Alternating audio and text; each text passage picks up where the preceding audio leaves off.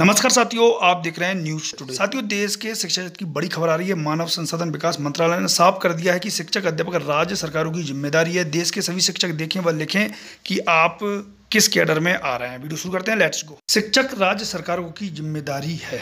आप देख सकते हैं कहाँ कितने शिक्षक राज्य देखेंगे, यूपी में है दो लाख बयासी हज़ार छः सौ ग्यारह राज्य सरकार द्वारा रखे गए। केंद्र की मदद से रखे गए हैं एक लाख सोलह हज़ार पाँच सौ सैंतीस। वहीं बिहार में राज्य द्वारा रखे गए शिक्षक हैं एक लाख चार हज़ार चार सौ इकतीस। वहीं केंद्र की मदद से दो लाख पचहत्तर हज़ार तीन सौ चार शिक्षक हैं। झारखंड में पचास हज़ार एक सौ नब्बे शिक्षक हैं जो राज्य द्वारा रखे गए हैं। वहीं छियासठ हज़ार तीन सौ उन्यासी शिक्षक हैं केंद्र की मदद से रखे गए। उत्तराखंड में तीस हज़ार पाँच सौ नवासी शिक्षक हैं राज्य सरकार द्वारा रखे गए।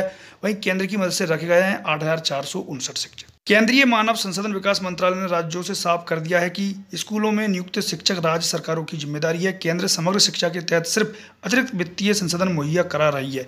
मंत्रालय ने राज्यों को शिक्षकों के अलग अलग कैडर बनाने से भी रोक दिया है। ज़्यादातर राज्यों ने अपने यहाँ स्कूल शिक्षकों के दो कैडर बना रखे हैं। पहले में बे शिक्षक हैं जिन्हें राज्य सरकारों ने अपने स्कूलों के लिए खुद भर्ती किया था। इसके अलावा दूसरे शिक्षक बे हैं जिन्हें सर्व शिक्षा अभियान के तहत केंद्र सरकार से मिलने वाली सहायता के ज़रिए भर्ती किया गया था तब से ही शिक्षकों के अलग अलग कैडर की व्यवस्था चल रही है। हालाँकि अब केंद्र सरकार ने राज्यों से कह दिया है कि शिक्षकों का कोई दोहरा कैडर नहीं है। सभी शिक्षक राज्य सरकारों की ज़िम्मेदारी है। शिक्षक भर्ती के नियम एवं शर्तों के चलते अगर कोई अतिरिक्त खर्च आता है तो उसे राज्य सरकारों को उठाना होगा।